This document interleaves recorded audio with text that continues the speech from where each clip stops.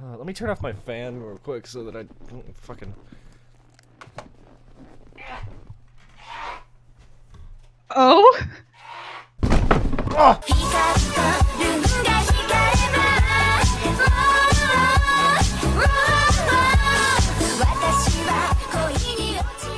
You know, he started reading this off in the middle of math class. it Yeah, was to Mitch. It's a good story, man. I mean, come on. I mean, It's fucking it is- fire, It is Joe. the best story that you've ever come up with. Joe, you should really, you should tell this to Brayden.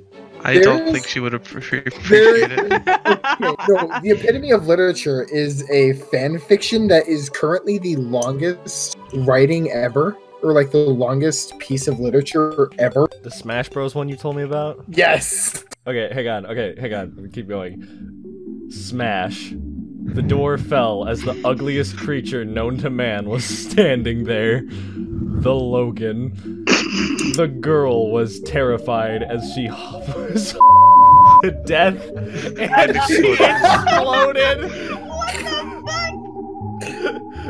Yep. Joe's just prideful about this. He's so, Yep. This The dad, the dad tried to shoot it, but the gun was out of ammo. The Logan touched his penis, and the dad became a humper Logan. And then it began. Oh my god. Isn't that this- amazing? It is that is like the best opening to a book ever. Like you I know, sell, you should really you send that to. Mr. Rogers and see what he says. I should publish. I should go publish. Fucking publish it to Mr. Rogers or Mr. No, Harris. New York I think Mr. Times. Har- Imagine Mr. Harris's reaction if you sent him that. I, I think he would. I think he would have to report me to administration. A few kids were talking about a game. They were play. They were play at recess. Yep. Their names were Joey, Jesse, Jeremiah, Alex, and Max. Oh my god. They were is why I hung out talking- at Thomas Jeremiah. Yeah, they were talking about a game called Logan Apocalypse. Logan They- Apocalypse. Why did you guys have such a bad thing with Logan? Because no. We, Oh, we oh, yeah, have he- a bad thing with him. We just kind of did that. oh yeah, when- was- he I remember when he humped Joe's head. They didn't know that their their T H E R E world was already more than You halfway cannot over judge Joe over- on his grammar when you cannot speak at the top. halfway over coomed by Logan. so you have to realize this story was written in sixth grade or fifth grade. then, then something happened. They were suddenly knocked out. Eight Years years later. That time jump. That's a fucking hell of a time jump, dude. It- it's just like out of nowhere as well. It like establishes characters like boom.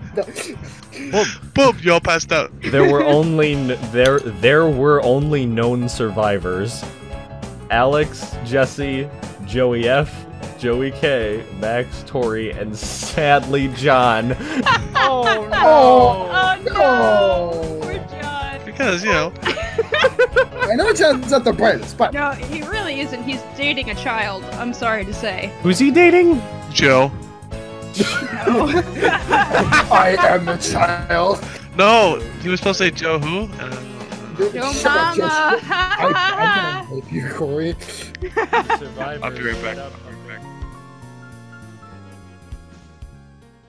Mia, where's she? She's inside the bed. She went in the drawer and stepped This up. is your fault. And now I gotta fix the problem you caused. Hi, come on, come on. Mia, come here. I swear to God, cat, if I have to get under this bed and get you out from there, it's not gonna be a fun time for you or me. So you better get out right now. That's it. yeah. I'm fucking killing this cat. Hey, kitty. Hey. Mia, come out. The shit. Mia, Mia, come here. you can't hide from me, you little fluffy shit.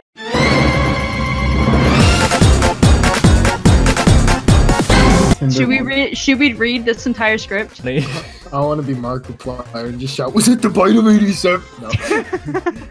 No, we have If you, wanna, so if you want to be Markiplier, you gotta be Mike, and you're Yeah. Markiplier. scene one, the bite, or no, what was it? Scene one. Bite! The!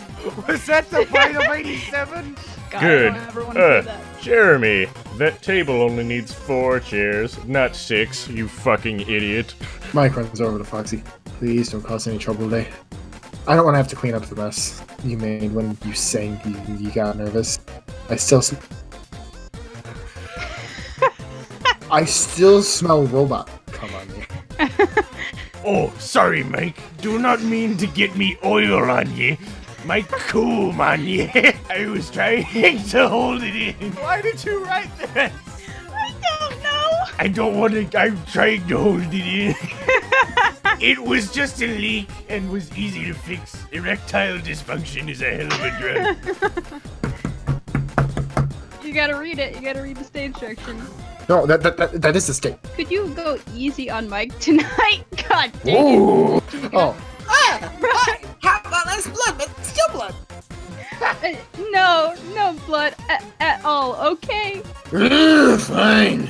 First off, shut up, furfag. Second off, Hardy har! Are you serious? The simp has fallen in love with the e-girl.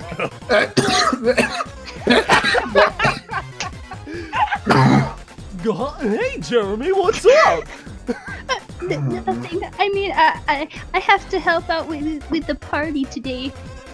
Let me guess. you don't want to touch a four-year-old's boy. I don't think Yeah, anybody. how did. did you know? I read the owner's clipboard. Ah, oh, okay. Scene 4, Cake and Gifts slash Bite of 87. Okay, kids, who's ready for a bite of cake and some presents? Yeah!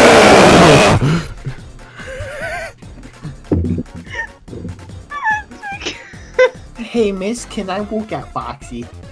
Sure, little boy.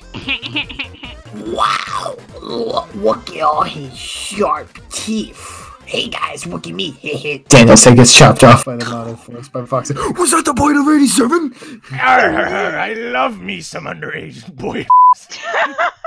I, I, I'm sorry, Mike. I I don't I I normally don't just clap boy cheeks like this.